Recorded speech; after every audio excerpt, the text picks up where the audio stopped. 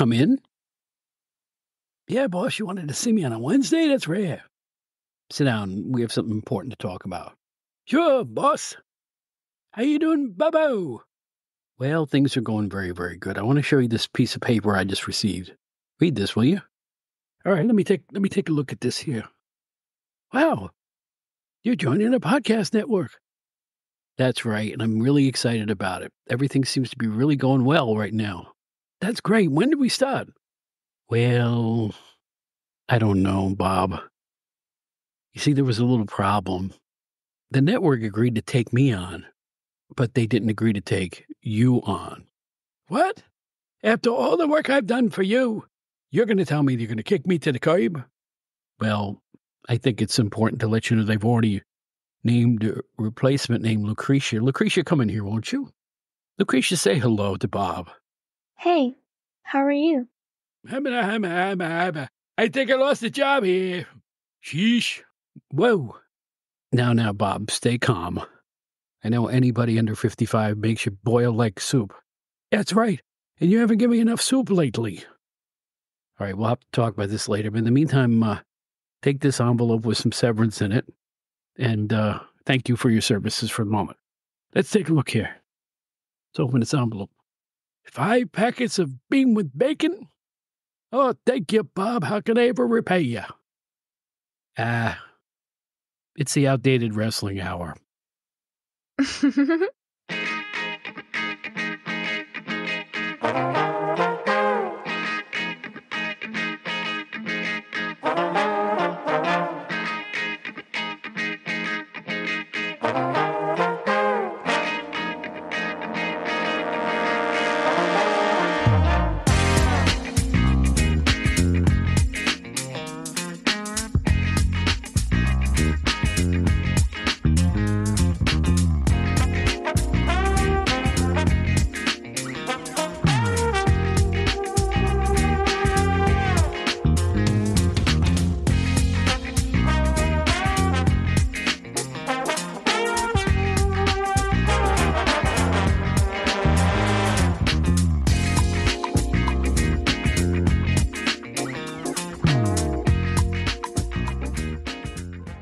Hi, everybody. Welcome back to the Outdated Wrestling Hour. My name is Bob Smith. We are so glad to have you with us for a sort of special edition. Um, our special guest is going to be Jamie Dundee, the son of superstar Bill Dundee, also a member of PG 13, and he's going to talk about a really, really amazing event that's coming up September 21st. It's going to be called The Night to Remember. It's going to be one of the biggest nights in Memphis wrestling history from everything I can tell. And he's going to have all the information on that. We'll talk about a few other things too. First of all, the 800 pound gorilla in the room, and it's a good thing for once. Unlike the 800 pound gorilla in the room from episode one, which I never want to talk about again, but that's just another whole ball of wax, you know. In any event, we have reached an agreement with the WrestleCopia Podcast Network, which has a whole host of wrestling programs on it. To be associated with a gentleman like Ray Russell, who runs the WrestleCopia Network, is kind of a cool thing. In fact, it's a very cool thing, and I'll tell you why. I have met since starting this podcast journey. Oh, God, I hate that expression. Since starting all this, I have bounced off of shysters, liars, opportunists, creeps, blimps, simps, wimps, and just flat out liars. Ray's not one of them. Uh, he's got a great lineup of shows on the network, and it, I might all check them all out. But you know, I guessed it on his show. He he told me recently he wanted me to talk about the date, the time I went to Memphis on his show. So we went on, and his show did great. And he one thing later another, we talked again, and well, here I am as part of the WrestleCopia podcast network. Now, what does that mean to you listeners out there? really doesn't mean much in terms of where you find us or the content of the show. The content remains the same. Uh, I get to continue to call the shots on the show. I think it's important to present a show unlike any other that you'll find anywhere else. It's the way I have to do it. I do not want to play follow the leader. I do not want to change my format. We're doing fine just the way we are. I've gone farther with this than I ever dreamed I ever could. And I know that the listeners who like the show love it. They tell me it all the time. My mailbox fills up. And I appreciate every one of you who's done that. But I think the advantage to working with WrestleCopia is I'll be able to get the word out about some of the great shows on WrestleCopia, and those shows will tell you how to find me. So I think it's a, it's a win win situation for everybody involved. I'm really looking forward to all this. I think uh, we got all our ducks in a row, as it were. And so thank you, Ray Russell, for your friendship and for uh, it's been fun. We've just had fun so far talking with each other. And Ray, get on the show. We we have to get a date for you to come on. Get on the show, won't you, please? We want you on here. I had such fun in his show. I want him to come back and, and talk to us here. The 1600 pound grill in the room, as I sit here speaking to you right now about the interview with Jamie Dundee, I am getting over, I hope, a whopping week of COVID. It's been bad, folks. This one was rough. I had it, I guess, in 2022. And within a few days, I was my old self. This time it's taken longer. It's been more painful and more short term debilitating, to be honest with you. This has been very, very rough. It came in a busy time for me, both with the podcast and with my sports media job. And well, there's never a good time for these things, but I will say this. For the benefit of everybody out there, this is not a political statement, all right? This is not a political statement, okay? I'm so sick of hearing that nonsense talking about COVID. COVID isn't politics, it's a virus. And it sucks. It's really tough. It's really out there. The strain that's going around now is not nearly what it was in 2020, of course, but watch out for it. Use your common sense. Read a newspaper. Go to the CDC website and don't politicize that with me either. Talk to people smarter than we are read people smarter than we are and get the information about the current raging COVID that's going around the country right now. Now, again, it's not the amount of people dying, it's not the amount of people who are sick, but they're there all over the place. I hate it when anybody dies of this thing. You know, it's just, I, I have lost too many friends, associates. I don't know what to say other than listen, just be careful. I want you all to be careful at this, particularly those of us in our later years. Hmm? because we're the most uh, vulnerable to all this. You know, it's a little stern of a talking to by me, but you know what? You know, if it curtails the uh, severity of what's going on, use every bit of information you can to make yourself feel better and protect those around you. How's that sound, huh? So that's that's the end of my soapbox. And again, do what you want, right? I'm, I'm nobody's I'm nobody's mom, but as someone who's suffered with it twice, as someone who's lost people, or someone who's seen people around me suffer with it, I don't know what's wrong with the media because COVID's all over the freaking place right now. It really is. It's it's just been rough. So I want to apologize in advance for my uh, rather deep, soft voice right now. This is as best as I can do this right now. I don't know. Maybe it doesn't sound so bad. Maybe it sounds good. I don't know. Maybe I'll stick with the style if you like it. Number one, I'm really happy to be with the WrestleCopia Podcast Network. I hope it's a long association that it works out well for myself and every other show on the network. Plus, I'm on with Dave Dynasty. It's one of my favorite shows, uh, Wrestling Nostalgia. So I'm proud to be shoulder to shoulder with him in that regard. And a lot of the others here too. And Bob Roop, heck, you know, Doug Gilbert. I mean, this is good stuff.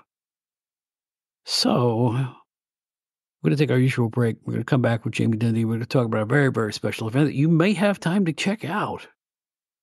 It's even cheap. All right a really historic gathering of some of the greatest wrestlers of all time, all in one place, all in the same day. You can't beat this one. You can't beat it. You cannot beat it. It's worth the trip down south. We'll tell you all about it. Plus, we'll talk to Jamie Dundee, who's had one heck of a career in more ways than one, if you know what I'm talking about. So, in any event, get yourself your uh, hot or cold beverage. Get yourself one of those cool little things out of the vending machine where it's like it's it's in the plastic tube, and you you take the paper off the top, and it's got a little stick. You put the cheese on those little crackers, those little travel crackers. Aren't they good? Yeah, I know they're not, but it's a snack, so get one. We'll be back after this word about the WrestleCopia Podcast Network.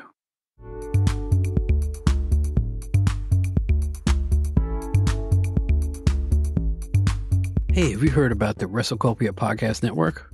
You really should. It's really easy to find them. It's just WrestleCopia.com. Your one stop shop to a whole mess of great wrestling podcasts. Ray Russell hosts the Wrestling Memory Grenade, where each week they take a look at some classic WWF and other federations as well. And whoever thought that Bob Roop at this point in his life would have a podcast? Well, he does. It's called The Wrestling Stoop with Bob Roop, and that's another one that's doing great numbers. The Captain's Corner Pod has a lot of interesting stuff. Recently, they had Ricky Santana as a guest. Check out that great podcast. DG's Pure Wrestling Academies. You'll never hear anything like it anywhere else.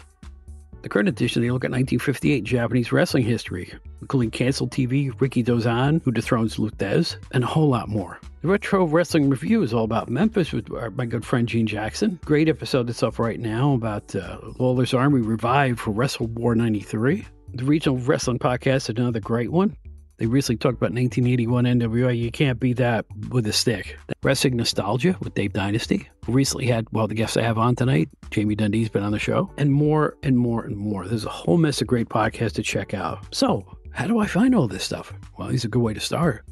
Go to WrestleCopia.com. It's just that simple. WrestleCopia.com for the entire WrestleCopia podcast network, which, by the way, is the new place to find the Outdated Wrestling Hour.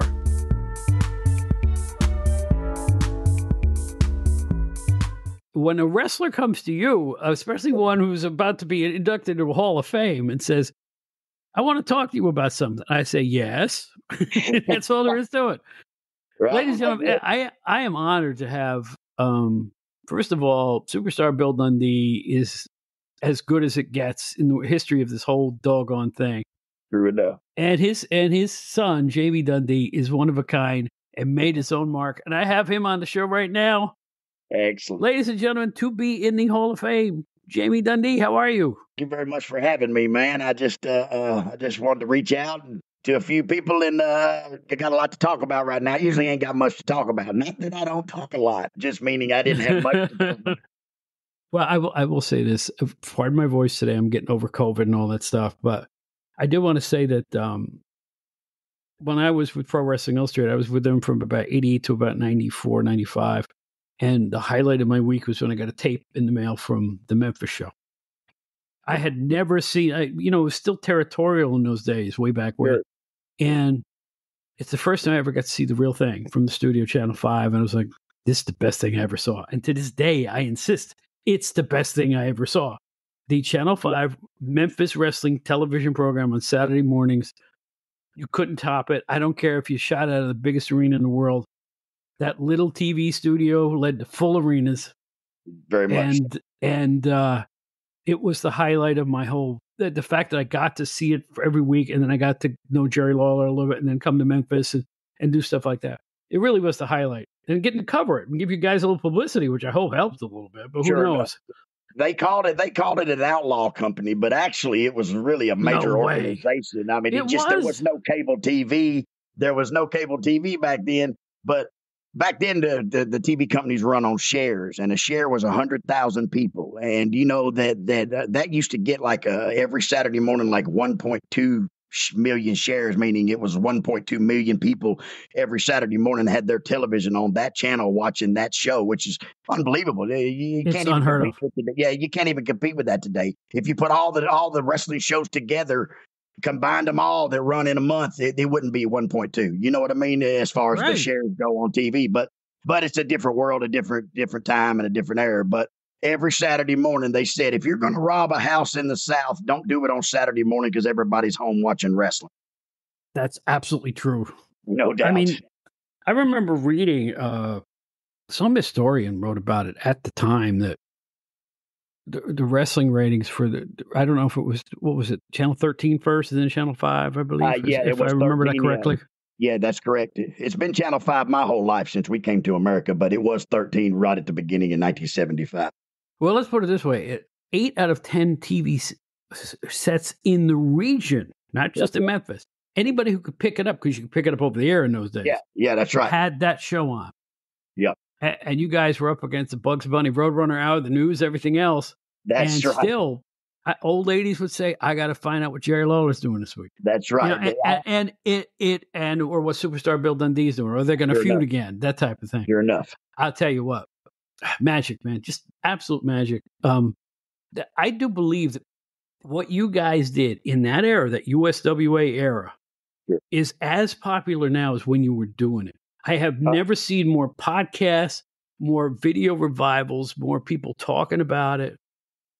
You were a major territory. I don't care anybody says. Anybody more than five cities is a major territory, as far as I'm concerned. Sure, sure enough. And here's the other thing: we was five major cities plus it was three thousand miles a week that we drove. You know, you couldn't, you, you didn't, there wasn't no airplanes and all. We got in the car and drove three hours one way and three hours home every Monday night from Nashville to Memphis because Nashville was mm-hmm. the center. That- all right, now I want to talk about this amazing event. It's coming up on the 22nd of September, right, uh, Jamie? 21st, 20 Saturday 21st. the 21st. Yes, sir. Saturday the 21st. It's going to be. Uh, well, Jackson, why don't you why don't you tell them all about it? Tell okay, them all, all right. Uh, yeah, I'll let you read the guests that'll be there because I don't have them all memorized or nothing. But but I'll right. tell them. The, it's the the Memphis Wrestling Hall of Fame. It will be uh, September 21st in Jackson, Tennessee. It, they're going to induct, uh, got another good induction class. And then we're also Kevin Lawler, Jerry's son, as as uh, uh and, and, we have came up with a well he has came up with and uh, uh, we're going to show the legacy and the legend of Bill Dundee versus Jerry Lawler. We're gonna we got a big thing. Wow. We're going to give them a, a big uh, awards thing for because what them two men did in wrestling totally in wrestling is wonderful, but what they did in the Memphis area is just uh, it's never been matched. You know, they sold the Mid South Coliseum out 16 weeks in a row, man. Elvis Presley didn't do that. The the the Rat Pack ain't done it. Ain't nobody ever done it but Jerry Lawler and Bill Dundee. Because like you was just mentioning last before we got cut out there that on Saturday mornings you had three things to watch. You had a paid program, you had Bill Dundee and Jerry Lawler, or you had Bugs Bunny, and most people chose Bill Dundee and Jerry Lawler. So I mean, it was a really a big deal, man. You know, long before cable TV and the internet world came out and killed wrestling, the, it was the hottest thing going in, in in the land for real in territories. There, when my father moved to America in 1975, there was 42 major organizations, 42 of them. You know, so for the people don't understand what that means, that means there was 42 WWEs.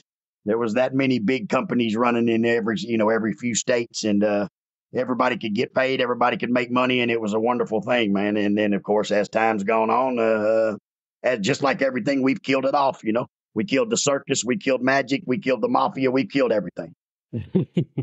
well, in any event, I, I agree with you about one thing. There was nothing better than the territory days. Nothing, nothing, because it kept it kept the talent fresh. You know, you, you could go from one territory to another. If you get sick of working one place, you could go somewhere else. As long as you built up a name for yourself, you know. Um, Every territory had ma- mainstays. They had mainstay people. You know, Memphis was Dundee and Lawler. You know, out in Florida was uh, Dusty Rhodes, and out in uh, North Carolina was Ric Flair, and mm-hmm. up in New York was Hulk Hogan. Everybody had their mainstays, but then all the other wrestlers got to work. You know, you would trade them in and out. Uh, my brother-in-law being beautiful Bobby Eaton. I remember every time my dad left Memphis and we went to another company, my dad would take the Rock and Roll Express. He would take the Fantastics. He would take the Midnight Express and Terry Taylor and other guys. He'd say, "Okay, you, you, you, you, and you, you, you're going with me." And we would all go to Louisiana. We'd stay there for two or three years, and then we'd go back to Memphis. And by the time you got back, the people were so happy to see you that you drew more money again. You know. You know what, Bobby, the nicest man I've ever met in wrestling. Was he was he the salt of the earth or what? He was amazing. Said a million times when when when the world lost Bobby Eaton, they lost something, man. They really you did. Know, you really know did. what I mean? I mean he was a great person, man. Yeah, not not only not only one of the great wrestlers you'll ever watch, sure, you know, and, and, on top of it, when you met and talked to him for five minutes, you felt like you knew him for 10 years. Do you agree with that? Yeah, yeah, that's old Bob. He was from Huntsville, Alabama, just a good old Southern country boy, you know, had manners, respect, and uh, was the greatest one of the great, if not the greatest wrestler in our in our sport today. And uh, if those people that didn't get to meet Bobby, you sure damn sure missed something. But those that got to meet him, you know exactly what we're talking about, you know. So it's the Picture Perfect Event Center in Jackson, Tennessee. Sure. And it's got a whole mess of stuff. According to what I've dug up here, from 3.30 to 6 o'clock, there will be a star-studded meet and greet. Now, I mean star-studded. When I read this list, you're going to flip, folks. You ain't wrong, You're going to flip. I, so I, know some of you out there are going to just go make an airline reservation the minute you get a, done listening to the show. This is how good this is going to be. Sure am, I, am, I, wrong, Jamie? I mean, no, this no, is, you're, you're not wrong. Right Matter of fact, I, I'm known as the guy that no shows all the time but this is one that I'm definitely not going to no show. I will be at this one, guarantee I'll be there because it's that big of a deal. Right. So um, they're going to have a Jerry Lawler, like you said, and Bill Dundee tribute. That's right. And the class of 2024 of the Memphis Wrestling Hall of Fame. That's at right. Seven o'clock, uh, induction ceremony. Now, you want, want me to read the list of talent? It's going to be inducted. Just read it all to tell them all. Everybody's going to be at the meet and greet and the and the the class. You know. All right, guys. This is just the Hall of Fame. All right, there's a lot more coming, but this is just the Hall of Fame. To be inducted, handsome Jimmy Valiant, of course. Of course. The Rock and Roll Express, of course. Of course. And a couple of young kids that I remember coming up when I was working at the PG 13 tag team. You ever hear of them? Yeah, yeah. I think them, I think them two kids uh, finally uh, became uh, rated R or rated X or something because I think they grew up from PG 13 now. they, yes, that's right. It's Jamie Dundee and Wolfie D, of course. Sure enough. We, we have the Spellbinder. Sir Mo, that one surprised me a little bit. That's that's kind of cool. That I like that that choice. Michael St. John. I, you know, when I visited Memphis, he was doing the color commentary at that right. point and switching off with with Dave. And uh, I'm glad to see him get some recognition. That's great because he was good too. He was, was really good. good, man. He is a very good announcer. And then he did a lot of the Dallas, Texas stuff when we took that over from the Von Erichs and we went down to Dallas on the weekends. Uh, he he was the announcer there too. Mm-hmm. We have uh, Terry Golden, of course. Yes, uh, mainstay of the whole region, really. The dirty white boy Tony Anthony, probably the most I'll, I'll, I'll put it this way: the most underrated heavyweight. Yeah, very much so. I've ever seen. One in my top ten of people who should be in every Hall of Fame, but but now he's going to be in one. So that's yeah, good. Be, that's right. That's right. I think the plumber gimmick when he went to WWF and they made him the plumber. I think that was the end. He said, "I ain't doing this no more." And he, he went on home. Yeah. Yeah, but you know what? The body of work he did, man. The body of work, the stuff in Continental, stuff in Memphis, all over the. Oh man, too worker, good. Man. Hell of a worker. Absolutely, Doctor Tom Prichard, the was smart as he really is a smart guy, though. I'll give him the credit for that much. He, I don't know if he's a doctor, but he's smart. That, that I know. I think he was a doctor like Doc Holliday was a doctor. there you go, right? and Nightmare Danny Davis, who uh, talk about somebody who helped a lot of people. You are start. not wrong. He helped them start, and he helped them stay. Am I right? Yes, and I'm one of them. Uh, I tell everybody Bill Dundee trained me, but Danny Davis taught me how to wrestle, and that's no go. joke. That's no joke. There you go. Now, here's the partial partial list of people who's going to be there. Now, of course, superstar Bill Dundee and Jerry the King Lawler. That goes without saying. We talked about that. Sure enough. Dave Brown, the other man in the booth. Too good. That's it. Koko B. Ware. Downtown Bruno. You know, the more, the more I hear about Bruno, I missed meeting Bruno when I came up there just because we weren't in the same place. So anyway, downtown Bruno, who I missed but was there when I was there in '91. I think he was in between gigs or something. Yeah, well, so you know, I, he was I, my first match. That was well. I mean, I had is one. that match. right? Yeah, I had one match prior to him uh, with a, a, little midget named uh, Butch Cassidy in the Knoxville territory. But when we came back to Memphis, and uh, he was my very first match in Memphis, you know, in front of my hometown crowds. Man, he was my very first match.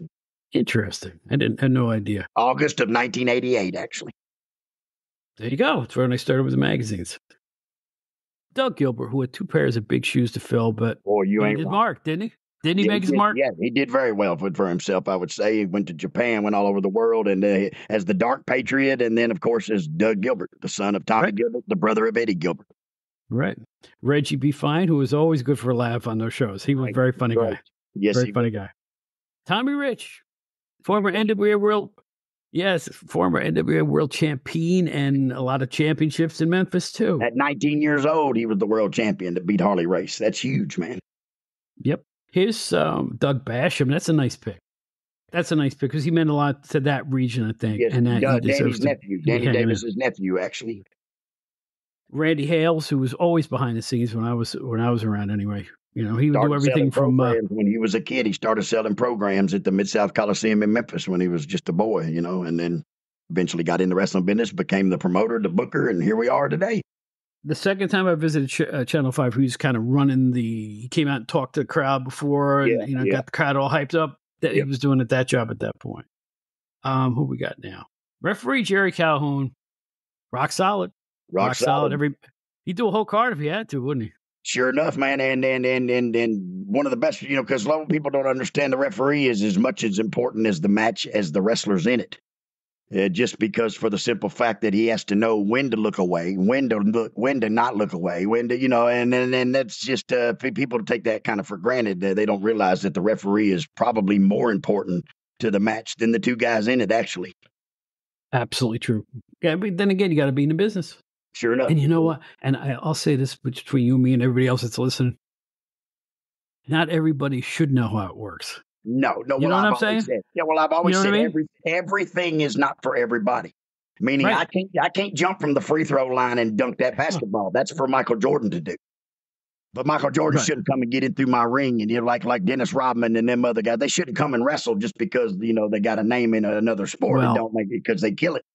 What I kind of meant though was the fact that the, the door has been flung open to a lot of stuff that was privy to only wrestlers of the day, and I think it worked better that way. Well, listen here. When I grew up, I grew up in a mafia. Doug Gilbert, also The Rock, any of us, uh, the Road Dog, Jesse James, any of us second generation wrestlers, we grew up in a mafia type of world. My dad hung out with wrestlers. My mom hung out with wrestlers' wives, and I hung out with wrestlers' kids, and that was it.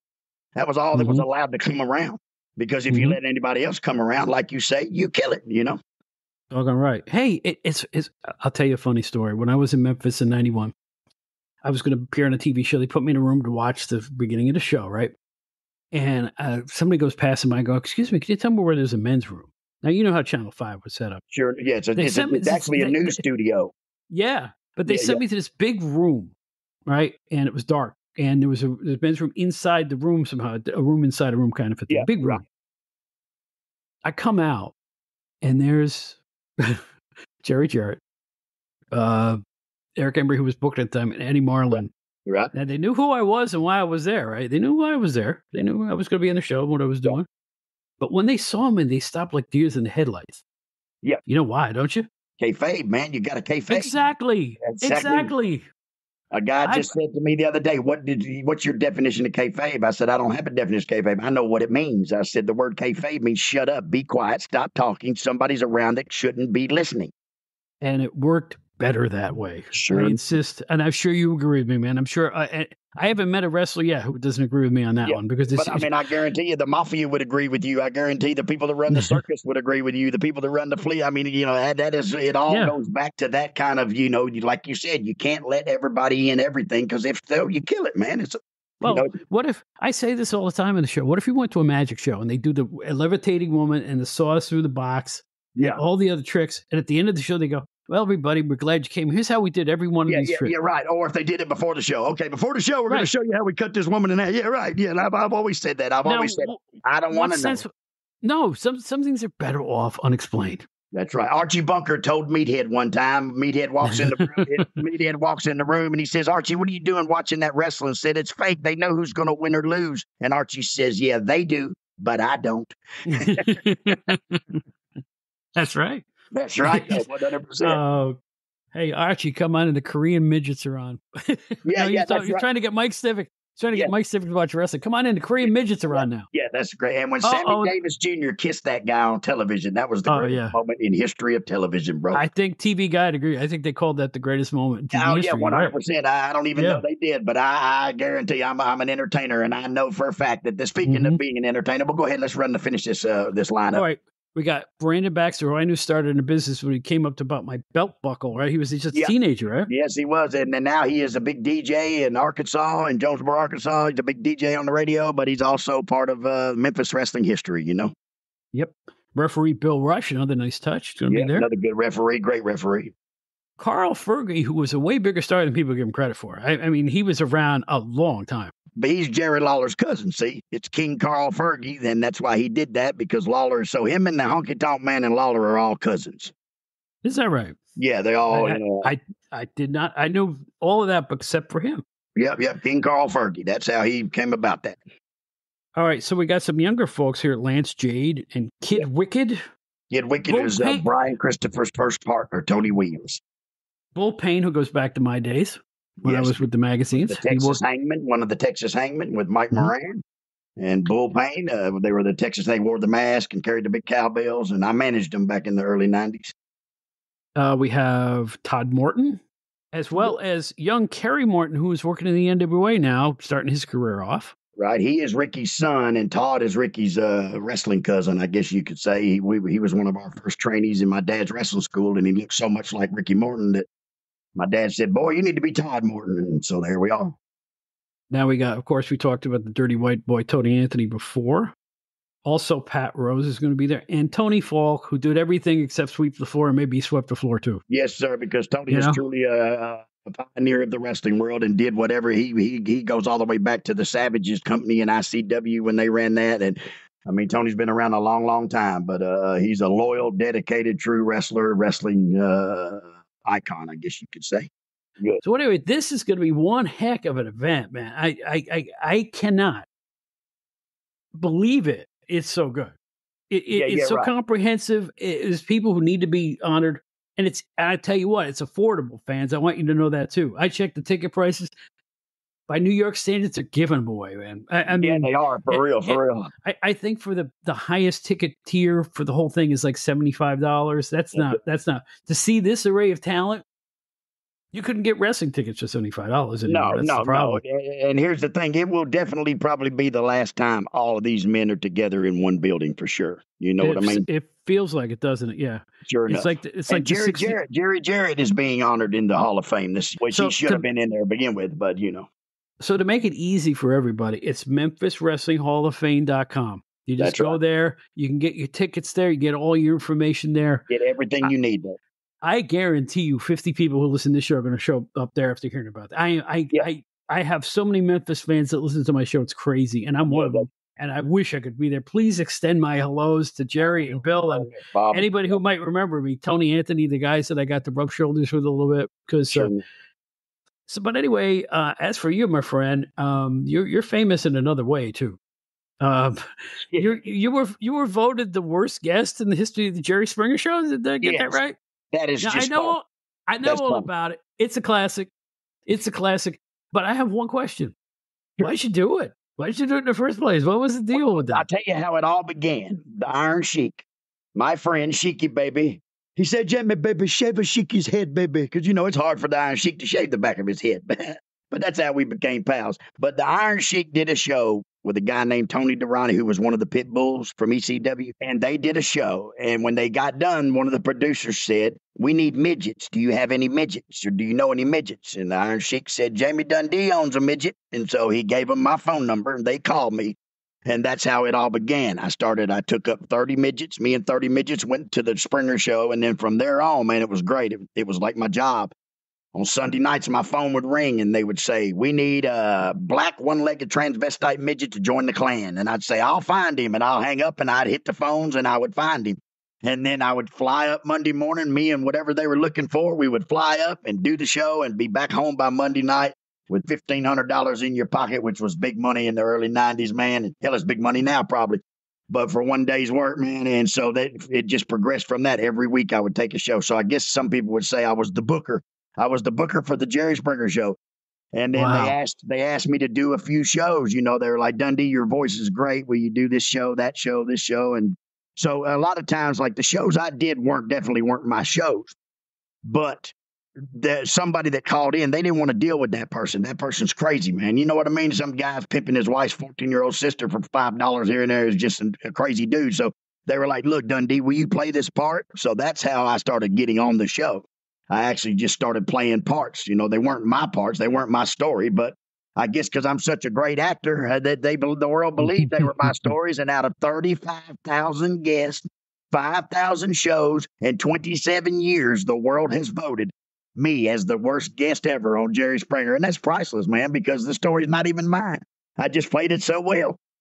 I can only figure that they think you're the worst because you did what you did the best. You acted the best. That's exactly that's, well, actor, that's, that's, that's what it is to me. They did mm-hmm. the, the worst really means I'm the best. That's the way I see it because it's so believable that the world has voted and said that I am, but it's really I didn't even none, none of them stories are mine. It's not even that's not even real. You know, I guess so. The story's real, but the person playing is not. But I was so good, I convinced the world that that was really me and my stories.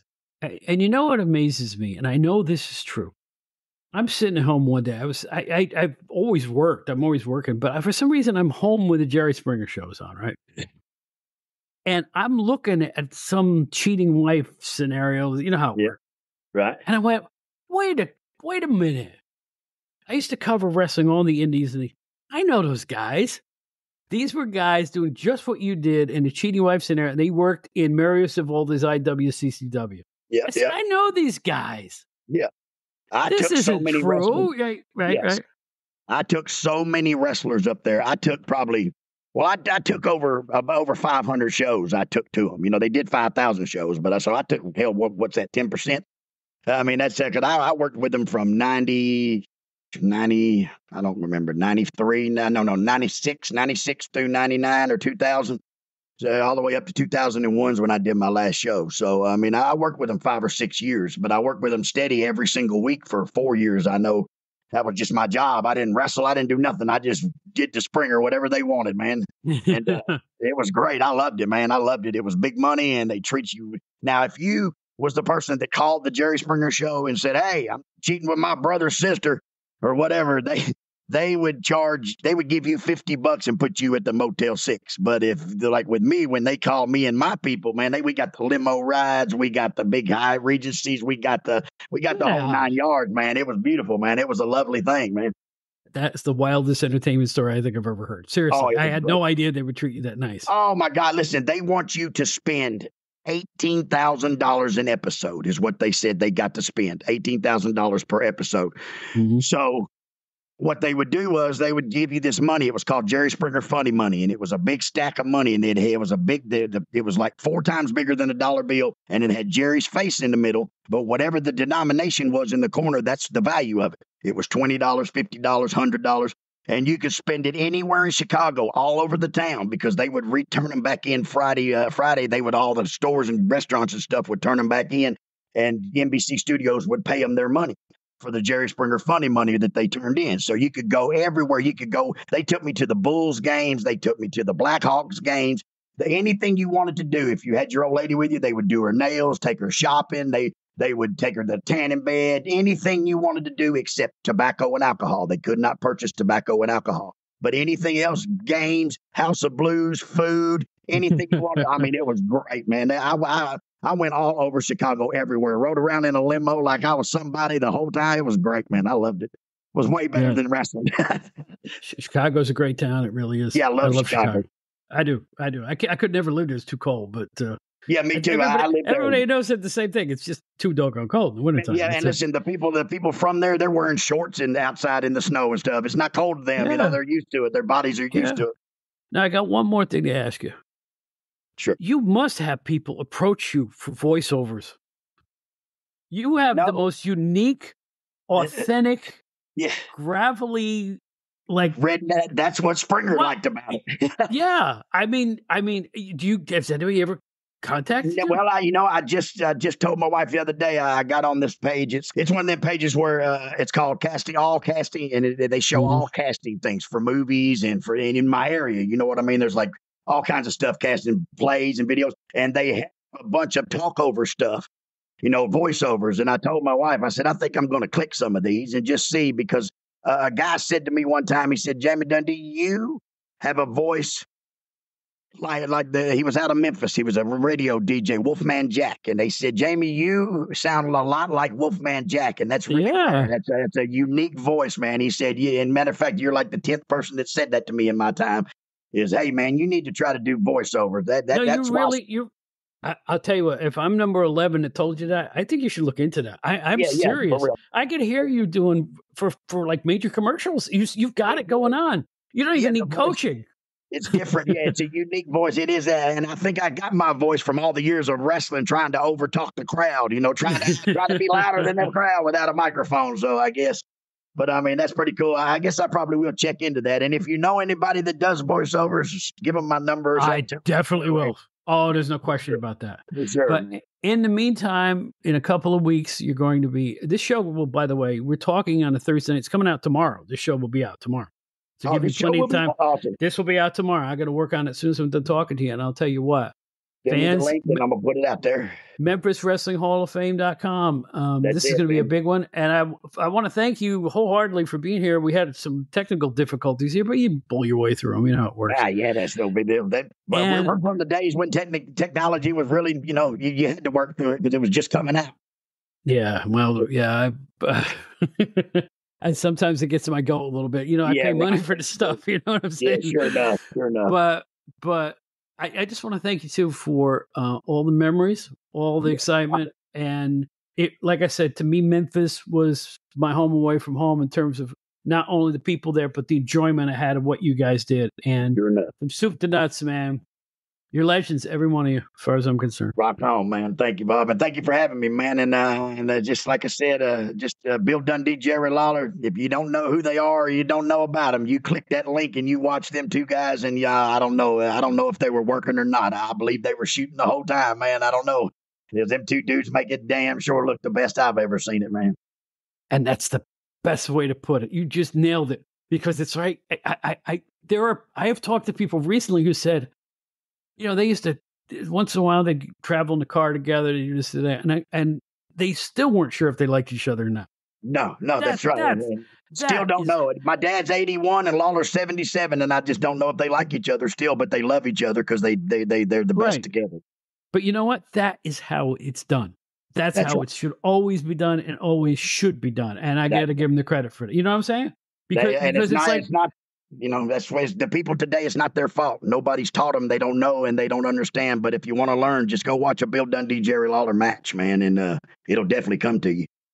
You know, you know what the difference in wrestling today is than it was in, in our day. I'll put it that way. Right.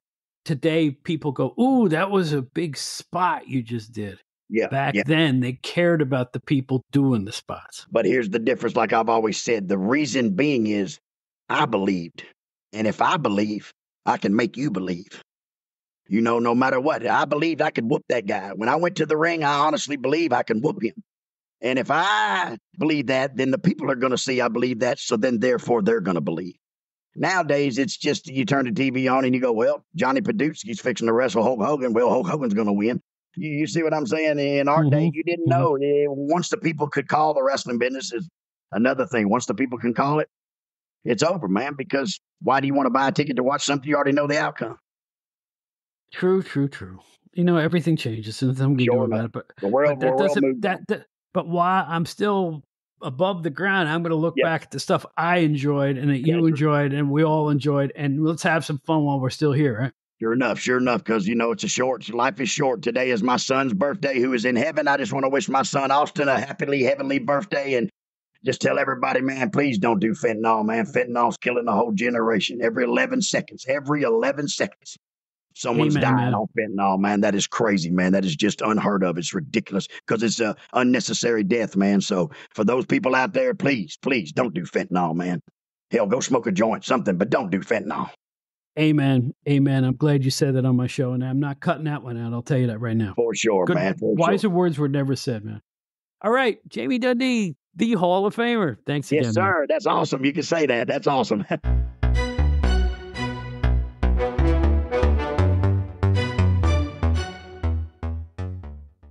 This is Joe Walsh. One thing I do when I'm not playing rock and roll is get on the air as an amateur radio operator. Also called ham radio is a communication service provided by ordinary people just like you and me. We have a national emergency communication system in place 24-7, 365. Find out more about amateur radio at arrl.org slash what is ham radio. See you on the air. Well, that's it for this one. It's going to be a little shorter than usual, but that's all I got in me. oh, COVID, man alive. Well, in any event, we hope you enjoyed it. There's nobody else like Jamie Dundee out there. Nobody like superstar Bill Dundee either. Hall of Famers both. And now they've got the trophies to prove it. If you can't get out to Jackson, Tennessee, if you can possibly do it, I wish I could go. I really, I checked airfares and everything. Uh, I don't think I can do it time wise, but I'm on the verge. I, I might I might still show up. I really don't know. But in any event, I'm really, really interested in this wonderful event. It's the best of everything all in one place. I mean, come on, guys. Everybody's gonna be there. You should too. OutdatedWrestlingHour.buzzsprout.com is where you can go to hear every episode of our show in one convenient place. Bang, bang, bang. You can also read about the Outdated Wrestling Hour fan club, where for a nominal fee, you pump a few bucks in the the tote, and we will continue to provide two shows for you, both the Outdated Wrestling Hour and the Outdated Entertainment Hour. One covers both. And by the way, the Outdated Entertainment Hour, we have a show out now about, we call it the TV 100. I can't do a better show. I cannot do a better podcast. One of the best things I've ever done, thanks in most part to my guests, the incredible Steve Gennarelli and the amazing Joe Puccio, who really researched We came up with a pretty definitive list of the best TV shows and series since TV began through through now, really, but it does have an outdated bent to it. There's a lot of history there, and some history that you may have forgotten or not even known about. So it's a really informative show, and we hope you enjoy it. And you will enjoy it because you know it's fun as well as informative. It's I can't do a better job than that. I'm so proud of that show. In fact, I'm going to let that one run for at least three weeks and continue to promote it because again, nothing else like it out there. And I, I insist that if you hear it, you'll be a fan of that show too, and you'll want to tune in every week to the Outdated Entertainment Hour, as well as the Outdated Wrestling Hour. And you can write to us at Outdated Wrestling at Gmail. Find me on Facebook. I'm the only Bob Smith on Facebook singing with BB King. No, it's not an AI photo, you schmo. That's me in the 90s. No, excuse me. Yeah, that was in the 90s. It's about in the 90s. Right, because I kind of got out of, I kind of semi retired from music in 2009. You know, that might be the early 2000s too. I see this, this is where my memory goes. My own achievements, I don't know. But I can tell you what year Scicluna and Curtis held the WWF Tag Team Championship. This is my, my brain works funny. And again, I ask if you have fan related questions, please send them to outdatedwrestling at gmail.com. I have to limit my Facebook direct messages to um, business stuff, you know, people who want to talk about being on the show and things like that. And I, would love to chat about nothing, but I don't have time, particularly the last 10 days of show have been a blur. You know, it's been really, really rough, but I'm, I'm, I'm getting there. But again, we are also uh, both the Outdated Entertainment Hour and Outdated Wrestling Hour, a production of Bob Smith Podcast. And we're proud to be now affiliated with the WrestleCopia Podcast Network. Ray, thanks again. I, I just, Ray Russell uh, does a first rate show in his own right and by the way, listen, find the show where I talk to Ray. It's still on the boards. It's either the current show or the one, you know, the one behind it. We had a blast talking. We really did. We we went back to a lot of old school stuff, and I think we hit on some stuff that uh, surprised him, and he hit on some stuff that surprised me. It's one of those freewheeling conversations, the type what I think makes for good podcasting. I insist a good podcast where you hear two people conversing. It sounds like you're listening in on them. They're having fun, so you have fun too. And we hope you have fun in every edition of the Outdated Wrestling Hour. That's it for now. I hope you hear me okay. Hope the recordings come out all right. I'm sitting here sweating like a bear in a parka because I, I don't know. I'm still, I think, feeling the effects of both summertime. It's still blazing summer here in New York City, and my little little uh, flu-like disease here. I will say, as I record this, it's like 85 degrees in third week in September, whatever it is. So, good gosh, it's still warm. I remember when September was like somebody flipped a switch. It was autumn, right? Not anymore things change, particularly wrestling. That's why I like to look back here at the Outdated Wrestling Hour. The whole idea is to give uh, thanks and have some fun with those stars and moments from the past that we all really enjoyed, both growing up and as full grown adults, too. So until next time, thank you, Jamie Dundee. Thank you, everybody else. The Outdated Wrestling Hour. And as Ringo Starr says, to this day, mind you, peace and love, brothers and sisters.